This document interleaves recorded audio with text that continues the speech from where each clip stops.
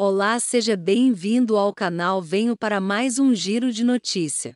Mas antes já peço que deixe o like no vídeo e se inscreva no canal, ative o sino de notificação para não perder nenhum vídeo postado aqui.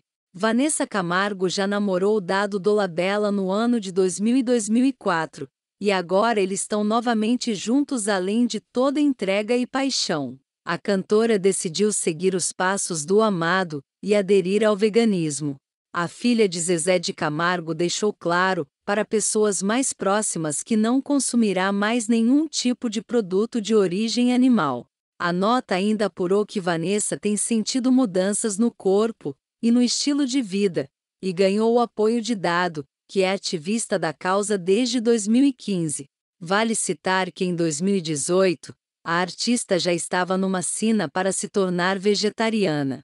Estou tentando virar vegetariana, pelo menos, porque para mim a alimentação tem a ver com a saúde. Acredito muito naquilo que diz que a gente é o que a gente come. É gente está e Vanessa Camargo então agora é vegetariana.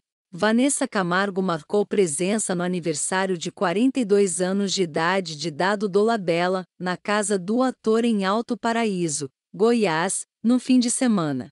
A celebração teve um cardápio vegano e o casal posou junto para um clique de um amigo, Otávio Maxiel.